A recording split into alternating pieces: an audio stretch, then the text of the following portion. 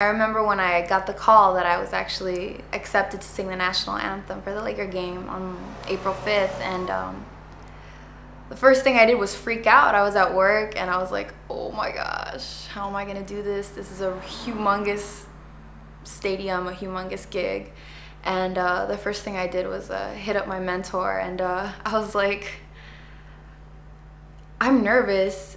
What do I do? And he's like, just practice until you have enough confidence and every single day during my hour long commute to work i work at ms. Magazine in beverly hills i would get my ipod and i would record myself singing and potentially get into a car crash but i just had to find a way to practice.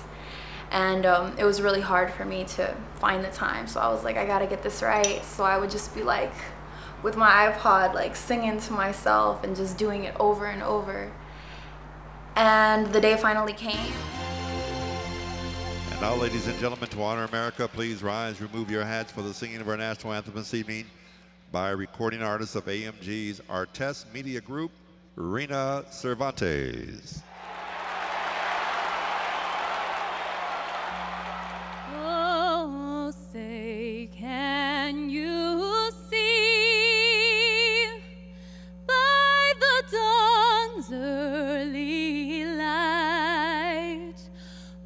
So proudly we hailed at the twilight's last gleaming, whose broad stripes and bright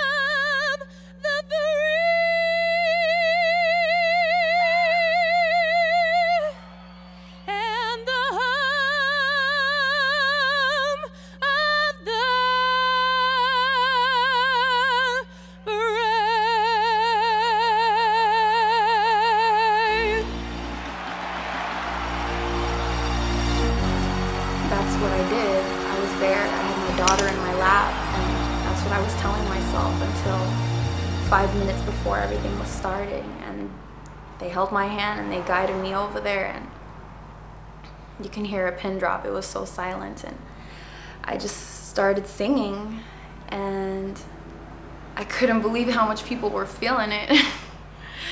and I didn't realize how well I did and how well I handled it until I saw the recording later and I was like, wow. It was just a really great experience. I, wow.